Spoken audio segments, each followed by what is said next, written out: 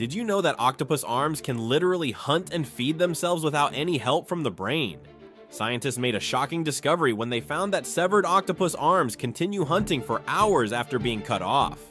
The arms grab prey, taste it, and even feed the mouth that's no longer there. How is this possible? Each arm contains 300 chemotactile receptors and 40 million neurons. That's more brain power than most animals have in their entire head. These arms can taste, touch, and make decisions completely on their own. While the main brain focuses on navigation or camouflage, the arms solve puzzles independently. They can open jars, manipulate objects, and process information without any central commands. Each arm essentially thinks for itself, like having eight separate creatures working together. The octopus brain acts more like a coordinator than a controller. It's not one intelligent animal, it's nine minds working as a team, the ultimate example of distributed intelligence in nature.